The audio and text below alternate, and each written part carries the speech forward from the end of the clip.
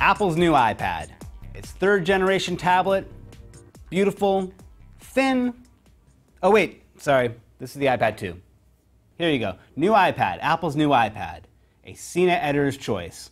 Looks really, really similar to the iPad 2. It also has the same price it's always had, starting at $499.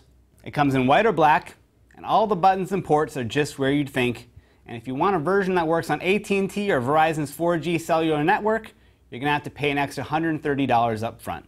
But why pay full price for something that looks like last year's iPad? Well, here's what all the fuss is about. It's the screen. Apple took their 9.7 inch screen and they doubled its resolution, and it's something that no one has done before on a screen like this. And it's one of those changes that won't knock you over at first, but once you get used to it, you're not going to want to go back. Now, one of the first benefits you'll see is that text looks great. Whether it's ebooks, email, or just browsing the web, words are very crisp. Another obvious benefit is video.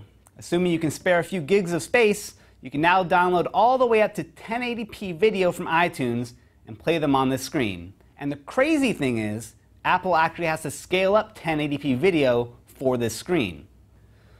But really, you know what the iPad is made for games. Games look outstanding. Your old games are going to look like a film of fuzz has been wiped off the screen and games that are optimized for the new screen and the new quad-core graphic processor look really great. Some of these look like they could be streaming off of your Xbox. Another feature you should be excited about is the improved camera on the back. The one on the front is still pretty crummy, but this one on the back uses a 5 megapixel backside illuminated sensor, and more importantly, uses the same 5 element lens system that the iPhone has.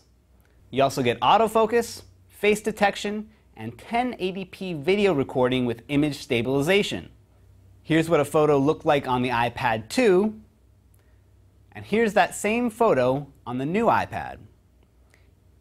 Here's a 720p video from the iPad 2, and here's the automatically stabilized one from the new iPad. Now, I still feel like a toddler when I use this thing to take pictures, but the fun of showing off photos on this screen makes up for it. And if you really want to get fancy, you can spend another $99 on an Apple TV box and wirelessly beam your photos and home movies over to your home TV. For a less fancy solution, a $39 AV adapter and HDMI cable will mirror the entire iPad screen to your TV. So for me, that's the core of what makes the new iPad such a great tablet, even if it does look like last year's iPad. For more information, be sure to read my full review. For CNET.com, I'm Donald Bell.